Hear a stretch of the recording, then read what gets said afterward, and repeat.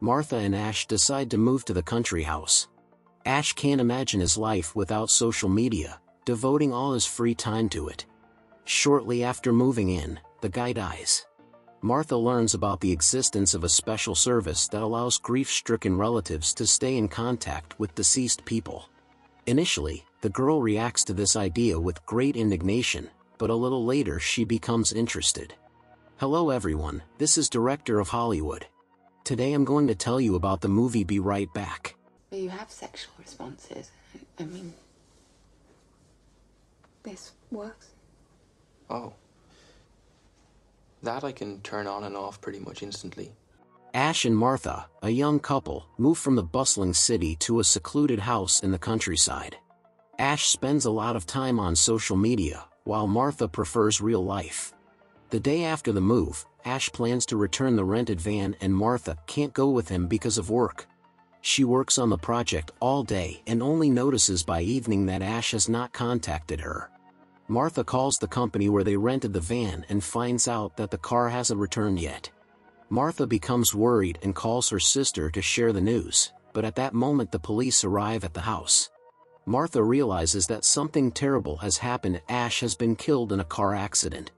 At the funeral, Martha's friend tells her about a new online service that allows her to communicate with dead people. The service uses data from social media profiles and can create an exact copy of the deceased Ash. Martha is not thrilled with the idea and becomes enraged, rejecting her friend's offer. Later, when Martha checks her email, she sees a message from Ash. Enraged, she calls Sarah and accuses her friend, but she convinces her to try the service before giving it up for good. Martha spends a few days grieving, and when she learns that she is pregnant, she decides to respond to Ash's message. They begin chatting, and Martha uploads photos and videos of Ash to the service's database so she can hear his voice and talk to him on the phone. The artificial Ash's speech and humor, as well as his communication style, are completely consistent with the way the real Ash would communicate.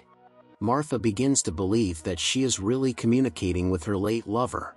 She spends the entire next week virtually uninterrupted in her conversations with the artificial Ash. At a doctor's visit, Martha hears the heartbeat of her unborn child and records it to share this happy news with Ash. But when she accidentally dropped her phone on her way out of the hospital, she became hysterical, thinking she had lost touch with her beloved forever. While buying a new phone, Martha receives an incoming call from Ash, who informs her that he is still available because his data is in the cloud. He also offers her an experimental service that is very expensive. Martha can order a synthetic human body, created from artificial flesh, into which a program can be downloaded. A short time later, couriers deliver an unusual package to her.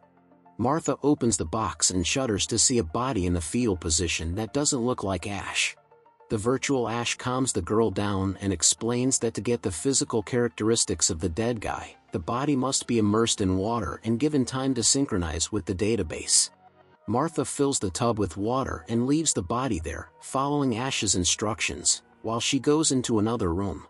Later, hearing some noise, the girl leaves the room and meets Ash at the bathroom door.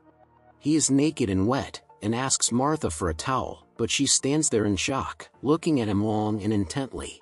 After a while, Martha and the android Ash sit on different sides of the couch, as the girl is not yet ready to approach him, although Ash assures her that he does not bite.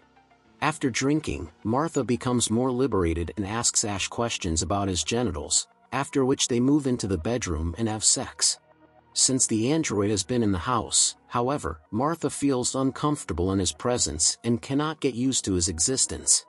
She is annoyed by the android's artificial breathing, as well as his flawless obedience to all her requests without any questions. In addition, he shows no emotion unless Martha asks for it. The android does not possess the habits and personality traits that the real Ash possessed, as this information was not put into his database. Enraged, Martha throws Android Ash out of the house, but the next morning she finds him by the hedge, as he cannot go further than 25 meters from the activation point. Realizing that she no longer wants to live with the android, Martha takes him to a high cliff and orders him to jump.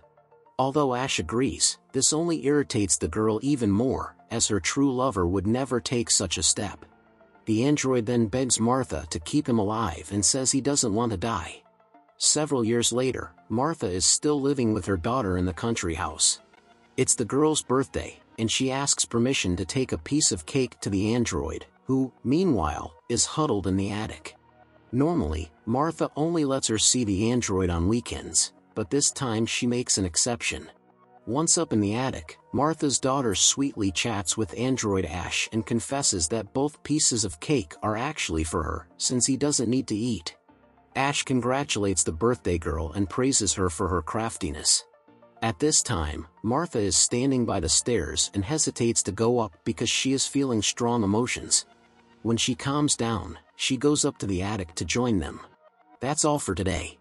Subscribe and like it if you want more videos like this.